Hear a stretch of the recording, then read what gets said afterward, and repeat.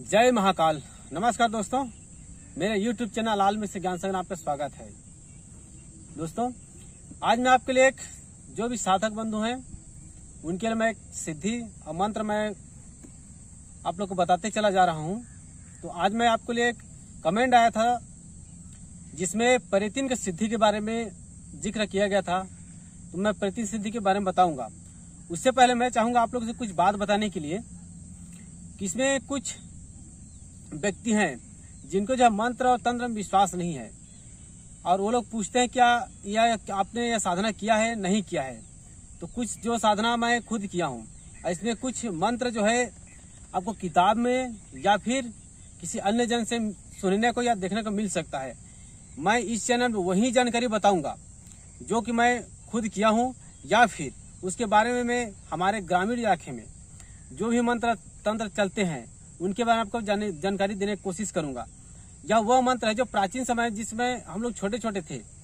दादा परदादा लोग जो बुज़ुर्ग थे, वो लोग इन मंत्रों का प्रयोग करके भूत प्रेत और साधना, जिन जिन्नाद और भूत धराना, भूत छुड़ाना और वशीकरण और मारण बाँध चलाना, इन सब के बारे में जो जानकारी रखते थे, उनको जो है मैं पूछ करके वह जानकारी विलुप्त न हो कि पहले समय में। इस इस मंत्र से और यह जानकारी से ऐसा होता था, ऐसा मेरे को जानकारी देने का उद्देश्य है। उसी संदर्भ में परितिन का सिद्धि, उनके बारे में पूछा गया था कमेंट में।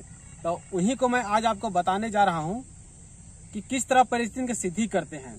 परितिन की सिद्धि जो है, इसको मैंने खुद किया था।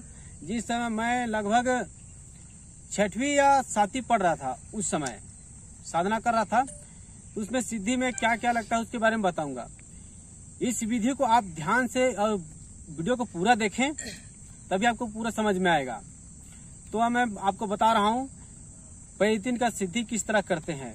परितिन सिद्धि होता क्या है? परितिन का अगर किसी को सिद्ध हो गया हो तो अक्सर बात आता है कि किसी का छोटा बच्चा हो या कोई व्यक्ति जन हो छोटा बच्चा जो है उसको रोही भूत धरा देते हैं। तो परितिन को भेज दिया जाता है, उनके पास अनुमोदन कर दिया जाता है, उनको बोल दिया जाता है। तो कैसे बोलते हैं, इसके मैं वीडियो में बाद में बताऊँगा। पहले उसका सिद्धि बता दूँगा, फिर उसका प्रयोग कैसे करते हैं, उसका इस्तेमाल कैसे करते हैं, और किस तरह बचाव करते हैं, उनके बारे में मैं आपको बताऊँगा।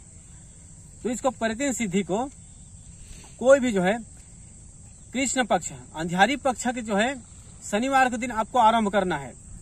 शनिवार के दिन। और इसको शनिवार यह सिद्धि 21 दिन की है। 21 दिन की सिद्धि है, इसको शनिवार को आपको आरंभ करना है। शनिवार के एक दिन पूर्व, यानी कि शुक्रवार के शाम को आपको, शाम को चले जाना है किसी बोर पेड़ के पास में, जिसे हिंदी में बेर कहते हैं। उसके पेड़ की आपको पास चले जाना है चावल और थोड़े से जल आपको लेके जाना है और निमंत्रण देना है कि, हे वृक्षाज, हे परितिंदाई मैं तो सिद्धि करे जाता हूँ।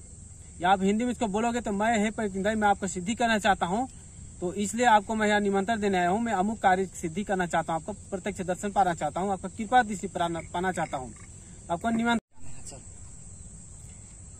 तो आपको निमंत्रण दे देना है। निमंत्रण के बाद में, और 21 दिन के अंतर्गत आपको ब्रह्मचर्य का पालन करना है, और आपको ज़मीन में सोना है। मांस, मछली इत्यादि का सेवन नहीं करना है, न ही नशा, उसे का आपको सेवन नहीं करना है। ज़मीन में सोना है। इस तरह इक्कीस दिन चलेगा। सात्विक भोजन करना ये सबसे उत्तम होगा। बड़ों का आशीर्वाद लेना ये ज़रूरी है आपको।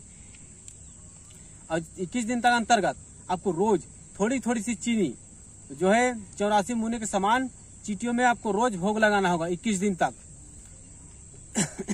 उसके बाद में आपको इसमें कुछ सामग्री का आवश्यकता पड़ेगा, जैसे मेगिन का साड़ी और लाल चूड़ी, लाल फीता सोलह श्रृंगार जो होता है वो आपको रखना होगा।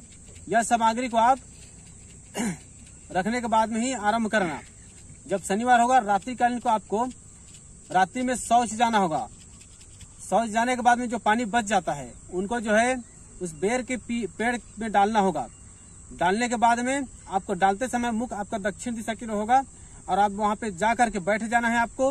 बैठने में आसन कुशा का आसन ले सकते हैं या फिर काले कलर का या फिर लाल कलर का आपको आसन लेना है, उसके ऊपर बैठ जाना है। बैठने के बाद में आपको 108 बार मंत्र पढ़ना होगा। या फिर 108 बार आपको मंत्र पढ़ना है। आपको वहाँ पे जाना है, सोच के पानी डालना है, उसके बाद में बैठना है दक्षिण की और आपका मुक्त रहेगा। 108 बार मंत्र पढ़ना है। मंत्र पढ़ने के बाद में आपको सात दिन होने के बाद में, सात दिन हो जाएगा, तब जाकर आप मेगिन के साड़ी जो सारा सामग्री है, वो आपको लेना है आप कोशिश करना कि हर रोज आप जो है थोड़ी सी इत्र जो है आपके साथ में ज़रूर लेके जाए। इत्र ना हो तो सेंठ लेकर के जाए। और यह क्रिया करना होगा। आपको सात दिन के बाद में ही अनुभव होना शुरू हो जाएगा। और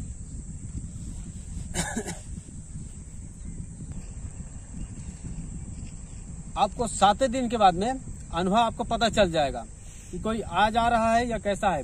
इसमें अनुभव ये होता है कि अचानक जो है कोई एक पेड़ जिसमें आप पूजा कर रहे हो, वो हिलने लगेगा, दिमाग जैसा मिट्टी गिर रहा है, वैसा अनुभव होगा।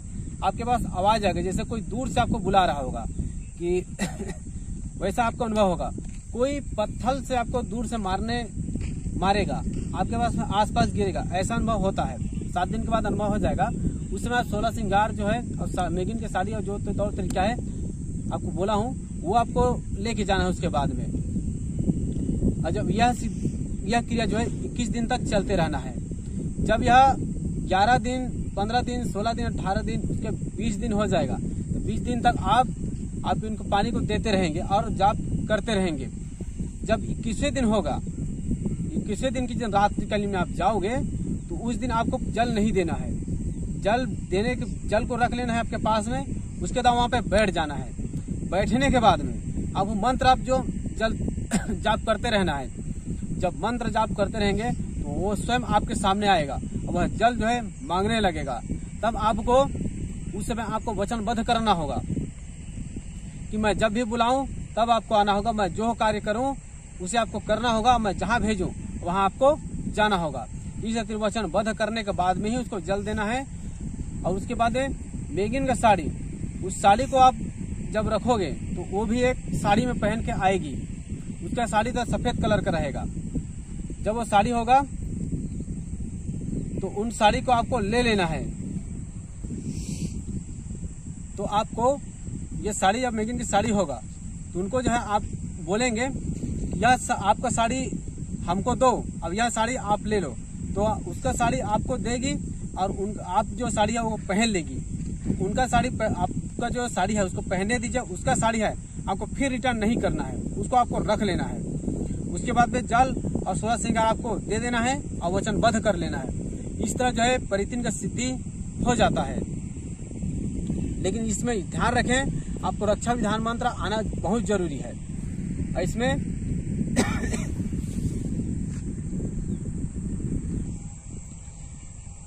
तो यह इस तरह परिवर्तन की सिद्धि होता है।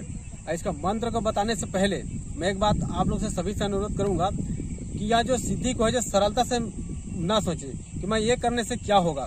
क्योंकि मैं अभी कुछ दिन पहले इसमें ग्रुप में मैंने साधना विधान का मैं बताया था, जिसमें गुरु दीक्षा और मंत्र के बारे में सिखाऊँगा ऐसे बोला था। उनमें से कुछ सिद्धि, मैंने कुछ शिष्यों को बताया था।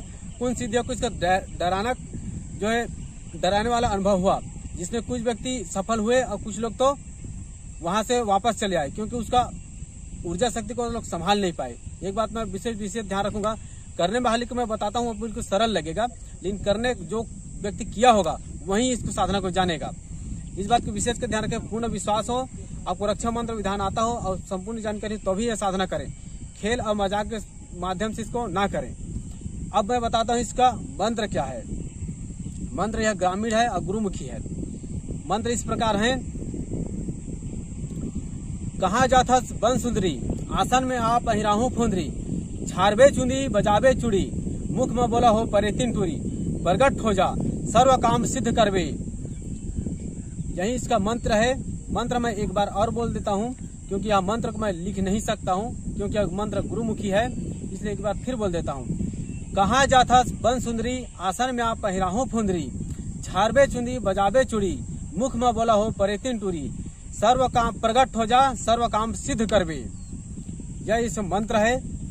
इसी मंत्र के माध्यम से परितिन के सिद्धि होते हैं। ग्रामीण क्षेत्र में यह बहुत उग्र खतरनाक माने जाने वाले मंत्र है, जो मुझे गुरुमुखी का प्राप्त मंत्र है। मैं आशा करता हूँ कि यह सिद्धि और इस मंत्र का सदुपयोग करें, जन ही जन कल्याण करें। इसी तरह और जानकारी आपको मिलते रहेगा, मैं देते रहूँगा। अगर मेरे चैनल में नए हैं तो आप चैनल को सब्सक्राइब कर लीजिए, बगल में बेल आइकन उसको प्रेस करके आल सेलेक्ट कर लीजिए, ताकि मैं जब भी कोई वीडियो बनाऊँ, उसकी जानकारी सबसे आपको पहले मिल सके। वीडियो देखने के लिए धन्यवाद। थैंक्स जय महाकाल।